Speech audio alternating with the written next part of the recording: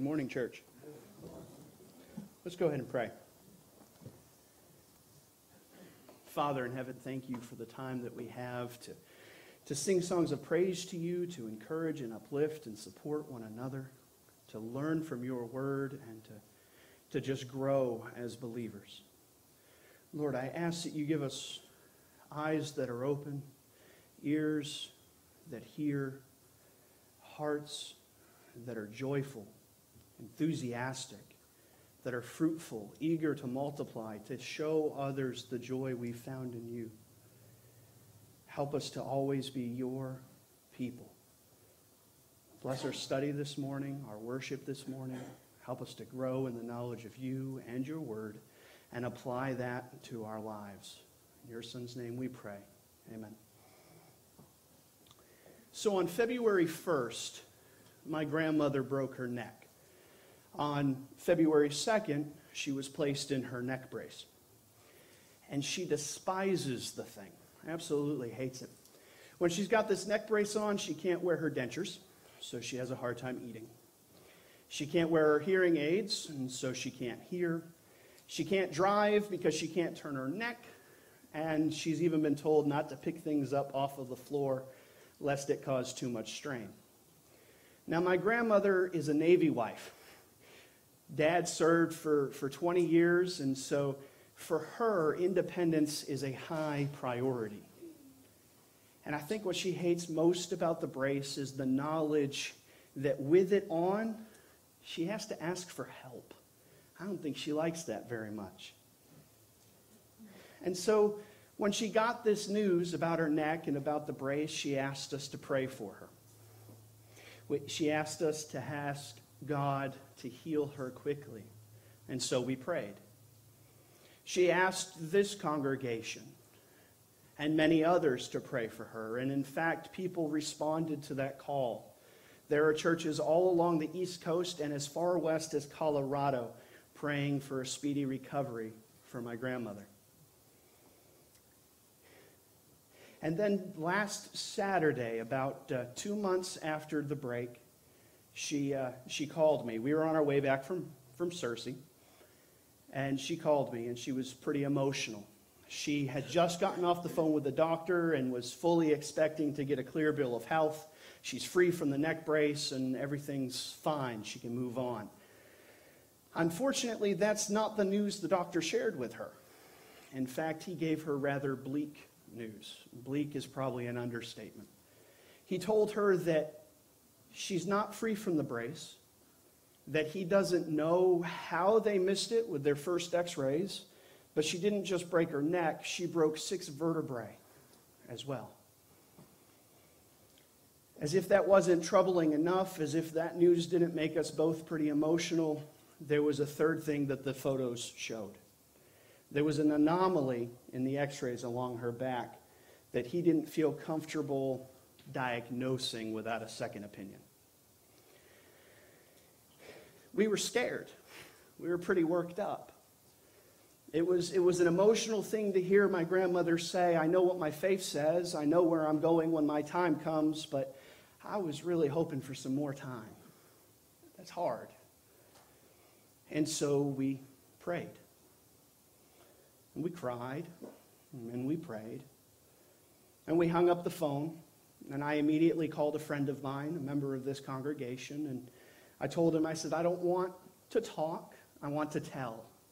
I needed to talk about it, get it out of my mind. And, and he listened and he supported me, and I'm grateful for that. And as we hung up, as we went our separate ways, we both prayed for my grandmother. My friends, I have a good reason for telling you about the events of last weekend. It's, it's not just because I love my grandmother very much or because I want you to continue to pray for her. It's because we serve a God who hears prayers and answers prayers. She called me Monday, just two days after that difficult phone call. And she asked me, she says, Dale, have you looked at the photo I just sent you? See, my phone had been acting up all day. So I said no, and she says, Well, then I want you to hang up, go look at the text, and then call me back. Being the ever good son that I am, I followed instructions.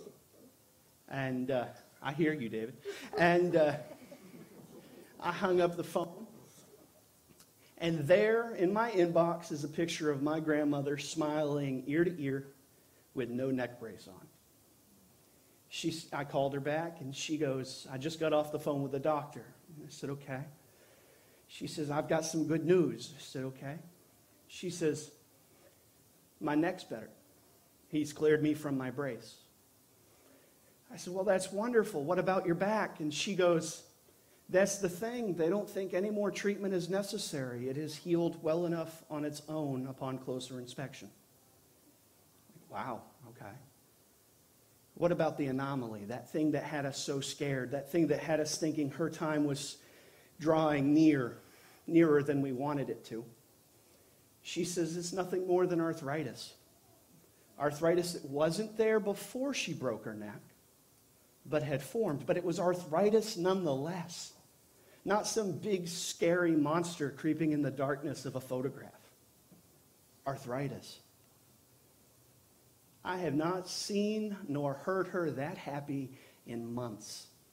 It was refreshing. This weekend, I learned something very important, something I hope we all leave here having learned as well. I learned to better understand what Jesus talks about in Matthew 7, verses 7 through 8. And if you would, go ahead and turn there, please.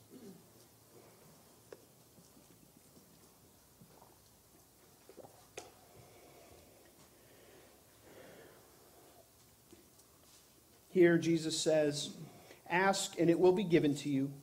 Seek, and you will find. Knock, it will be open to you. For everyone who asks receives. He who seeks finds, and to him who knocks it will be opened. Ask, ask, and you will receive. Well, here's the thing I was certainly asking.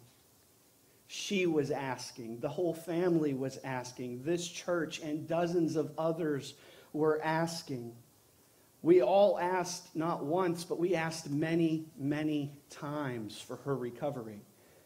And I'm going to call it what I truly believe it is God performed a miracle on behalf of a woman that people prayed persistently for. You don't just go from one day to two days later thinking, okay, the end is here, to a full and speedy recovery without the intervention of a holy God. It doesn't work that way. We need to remember that our blessings come to us in the, in the, in the context of persistence as we seek, as we ask, and as we knock. As we keep on asking, as we keep on seeking and as we keep on knocking. In fact, if we were to go back and read this passage in its original language, that is how it reads. Keep on asking, keep on seeking, keep on knocking. Yet, human beings, I think we have this rather unfortunate habit of resisting that guidance. Sometimes we're resistant to the idea of being persistent with our prayers, aren't we? Despite the fact that Jesus teaches us not just here, but multiple places, that it is important that we continually talk to God about the things on our hearts. He tells us to be persistent, and yet we resist. He doesn't just teach us it here, but what about the parable of the persistent widow in, in Luke 18? He talks about it there too, doesn't he? It's the story of a woman who had been done a disservice.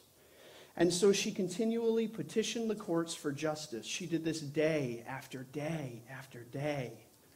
And eventually, through her persistence, justice was served on her behalf. And at the end of this parable, Jesus asks his disciples a question. And it's a question that I personally find a little, a little troubling, if I'm to be honest. He asks the questions, question when the Son of Man returns, when the Son of Man comes, will he find faith on the earth? It's a challenging question. It's a question he asks in the context of being persistent in the context of a prayerful, persistent Christian.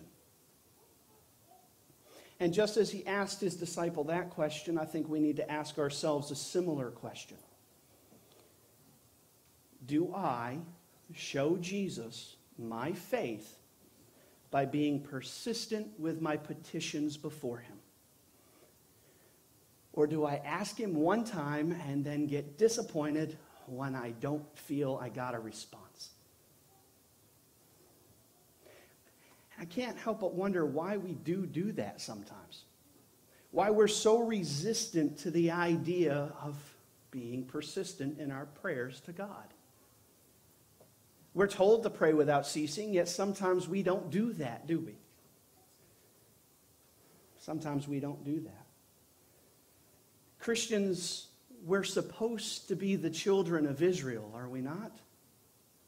A very, the very man who earned his name by struggling literally all night, wrestling with God, again, all night long, literally wrestling. I know I said that, but I want to emphasize this. He wrestled with God in a physical sense, and he persisted in his wrestling match with God even after receiving a wound, a limp that he would carry the rest of his life. And yet, what is it Israel, or Jacob at that time before he'd been blessed, what is it Jacob said to God? while he's holding him in his arms. I will not let you go unless you bless me. Now let's think about that for just a second. Do we really think that Jacob, a mere human being, had the power or the strength to hold God in his arms and make demands of him? The creator of the universe, bound and restrained by a mere person. Of course, we don't believe that. We know that's not the case. We understand that God had the ability and the authority and the right to remove himself from Jacob and turn and look at him and say, I'm not going to bless you. God could have said no. But in this particular example, in this instance, that's not what God does. He rewards Jacob because Jacob was persistent. Now, there's another lesson there. It's hidden a little bit, but it is important. We know from our study of the Lord's Prayer that we have to be willing to pray, not our will, but God's be done. We have to know that even when we're persistent in our prayers, that they're prayers that have to be done with a willingness to accept no as an answer. That can be hard. It can be difficult when we don't see things going the way we want them to.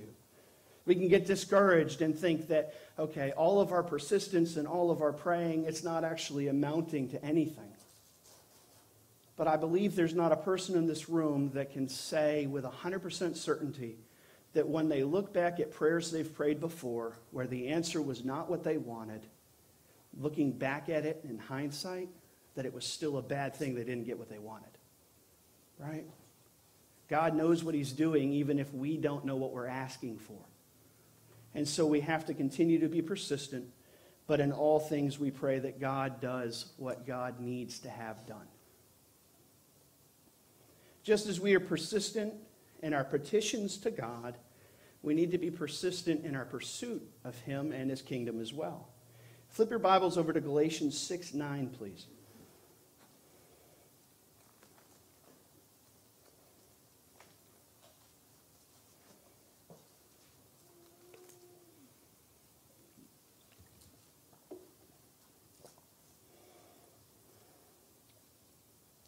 Let us not grow weary while doing good, for in due season we shall reap if we do not lose heart. We can't allow ourselves to get discouraged. We can't get, grow tired in our pursuit of the kingdom. Because in our search for, for God, in our search for his kingdom, good things are going to happen. Good things will find their way to us we're going to find not only what we're looking for, but we're going to find a lot more than that. We're going to find the love in its, of Christ in a true and perfect form, the kind of love that only Jesus could show us. We'll find hope. Hope the way it's described in Jeremiah 29 11. And I know most of us know that verse by heart, but I know the plans I have for you, declares the Lord. Plans for welfare and not for evil, to give you a future and a hope. When we're searching after God, we have hope. We always have hope. Not just those things or many other things, but what about peace? When we're searching after God, are we going to find peace? Well, according to Isaiah 26 3, we will. Because you will keep in perfect peace those whose minds are steadfast, because they trust in you. So, not just peace, but perfect peace comes from a relationship that searches after God. And so, if you're seeking after the Lord of Lords, we can be assured that blessings are going to happen. If we're persistent, we're going to find. We know this is true because Jesus tells us it's true. He tells us that as we ask, as we seek, and as we knock, that He will hear us, He will respond to us, and He will aid us. But even though we know this to be true, sometimes we can grow tired in our pursuits, can't we?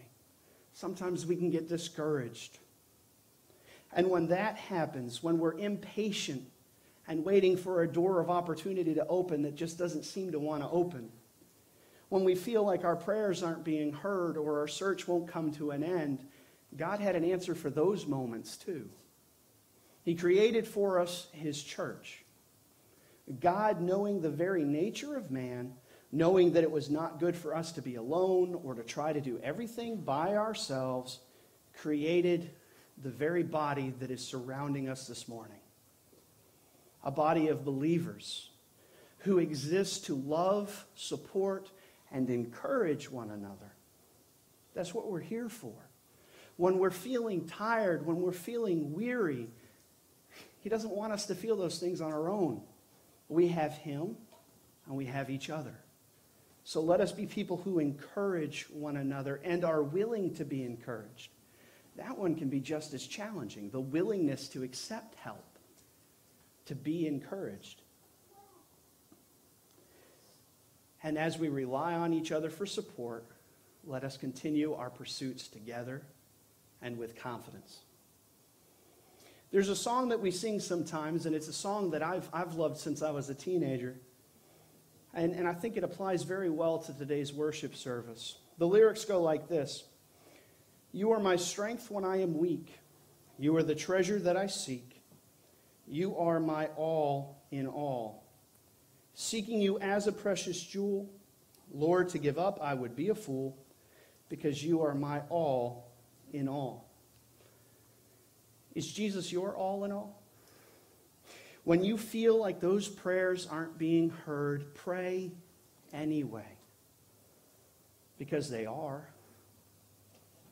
When you're seeking after his kingdom and you feel like your world is just falling apart, all you're finding is opposition and bad news and loss, fear. Satan is attacking you left and right, and you don't know what to do. Seek the kingdom anyway. And when you're not sure what your future holds, you don't know what door to knock on, what door is going to open for you, knock on all of them.